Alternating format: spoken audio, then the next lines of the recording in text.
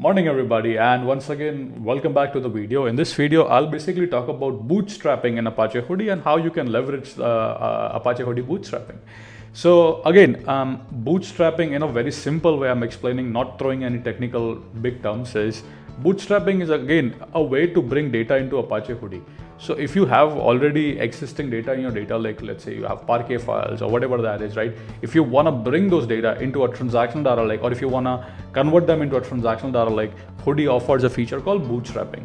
There are two ways to do that. A is metadata only. So if you have large amount of, massive amount of, um, you know, historical data, you can essentially basically use the metadata only, which means Hudi will only create the metadata uh, for your files. And the second one is full record, which means Hudi is basically gonna uh, convert all your ex existing file into a Hudi format. Okay, so let's take a look at a small demo. Uh, so hopefully this concept should be clear.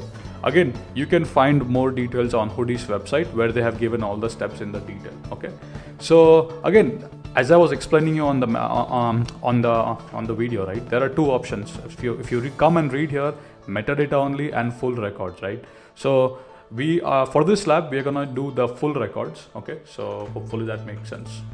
So before we begin the lab, um, so you uh, we want to pretend that you have some existing Parquet files. For that purposes, I have a link, a Google Drive link. So what you would do is you want to go to the link and as soon as you go to the link, you will find two Parquet files.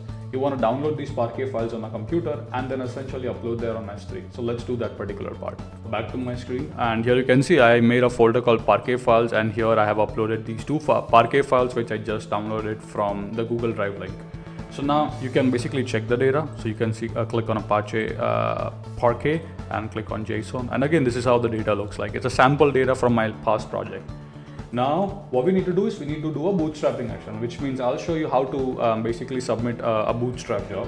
So what I'm gonna do is I'm gonna first of all make sure uh, to show you my screen. Again, I don't have any Hudi folders over here, right?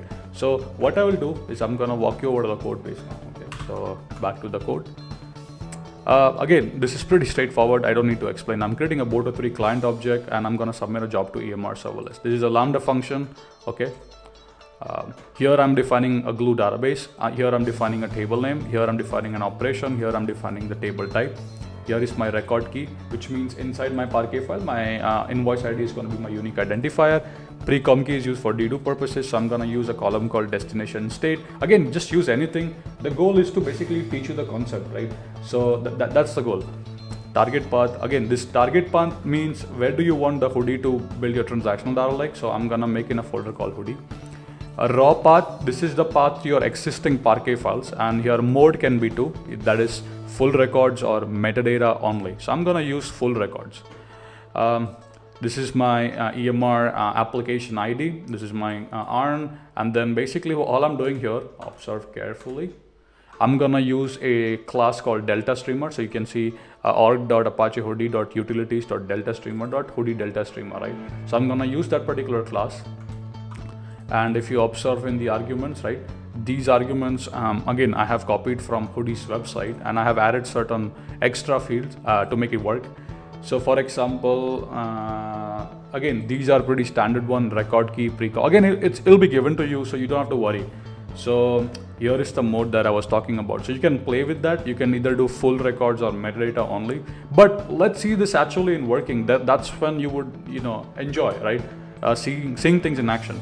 So now we have the existing Parquet files. What I'm gonna do is I'm gonna go to the manage application and I'm gonna submit this job in a second. Uh, quickly come here. Meanwhile, that's starting. So we can uh, basically, I'm gonna right click on this Python and uh, run that. And here you can see the job has been submitted. So if I come here, here you can see one job is in the pending state. Let me resume the video once the job is in the running state. So the job is, as you can see now is in the running state. So I'm just gonna wait for the job to complete. And again, I'm gonna pause the video and resume once the job is complete. So let's see if it's complete or not. So I'm gonna refresh. So again, it's, it's still in the running state. So I'm gonna wait here to, for the job to complete.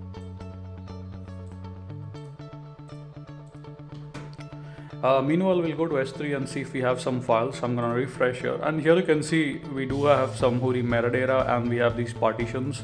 which we define. Uh, these are the state, and then here inside each partition, we have our base file.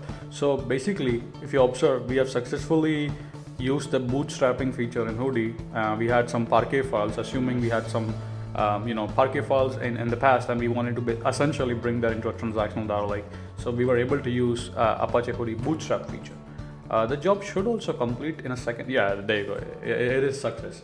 So yeah, this is how you can use Apache Hudi Bootstrap feature to essentially uh, bring in data into your transactional data lake. Thank you so much for watching. If you have any questions, let me know.